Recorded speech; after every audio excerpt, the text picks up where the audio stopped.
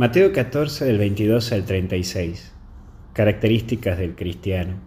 Lo primero es la cordialidad. Es la actitud que tiene Jesús con la gente. Es cercano y también es simple. El Hijo de Dios tiene la delicadeza de despedir a la gente.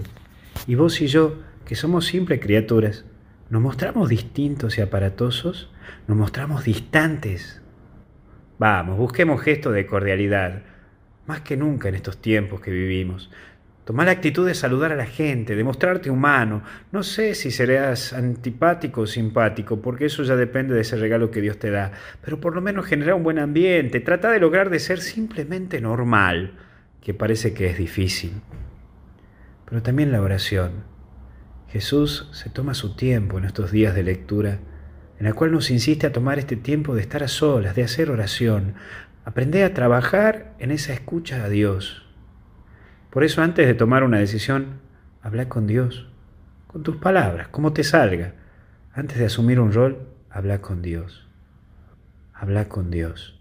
Entregale todas tus preocupaciones y habla de todas tus preocupaciones con Él. Por último, calma. Y es algo que vos y yo tendremos que pedir y luchar, porque nos sentimos desilusionados, cansados, agobiados, inundados por todas partes. Lo que más nos cuesta es que no podemos controlar la situación. Por eso hoy te pedimos la calma, Señor, y ayúdanos a saber descubrir lo que es tu plan.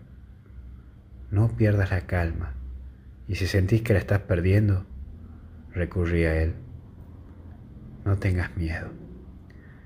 Que Dios te bendiga y acompañe. En el nombre del Padre, del Hijo y del Espíritu Santo. Amén. Hasta el cielo no paramos. Cuídate.